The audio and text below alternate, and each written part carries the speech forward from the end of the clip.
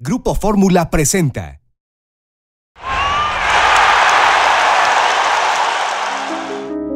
He was always someone who I looked up to.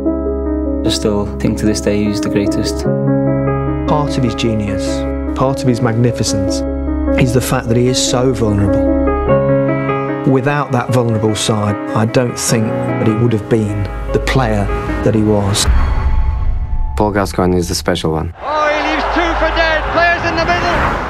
That's all I knew football. I just loved entertaining. The atmosphere in the World Cup was incredible. It lifted him from being a great footballer to a national treasure.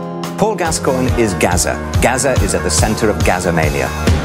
Gascoigne's expected to become the richest player in the world. Everything was coming thick and fast. You're in a position that most young men would say is a dream.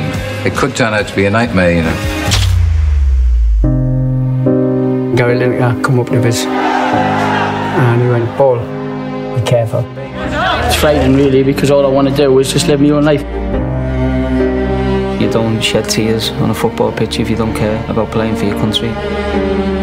I'm taking it more than anybody I can think of. And Bobby Robson went, You're playing against the best midfield player in the world. And I went, No, he is. Is